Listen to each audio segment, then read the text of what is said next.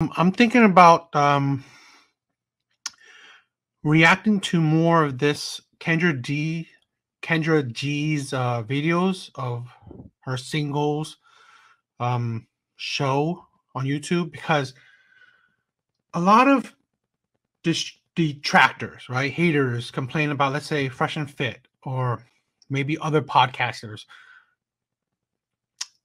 interviewing or having guests that are like, let's say, the party girl, the um, the girls that are you know young, they're attractive, uh, they are only in Florida, something like that. But they don't ever talk about shows like this, you know, uh, the Kendra D thing, or Kevin Samuels, where these people interview or have guests on that aren't your, you know, 18 year old, 21 year old college student who was really good, gorgeous, or really good looking that's only in the Miami kind of environment. No, they don't talk. And even in those shows, they do have other ranges of girls, but for some reason, all these detractors always focus on, oh, it's not the representative of you know, of uh, all kinds of girls, all kinds of women.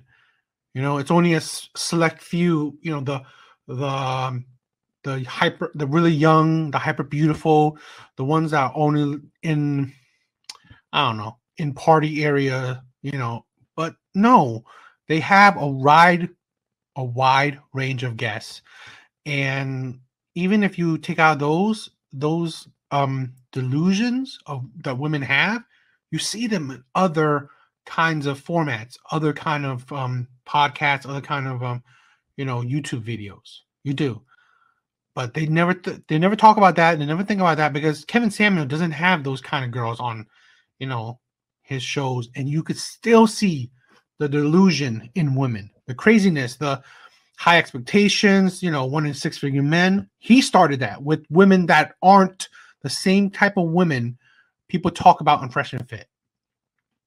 But I wanted to show you that, you know what?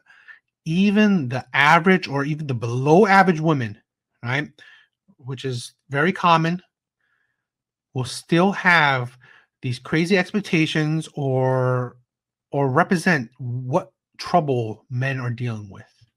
So I wanted to see if I will start, you know, um, react to these some of these type of videos.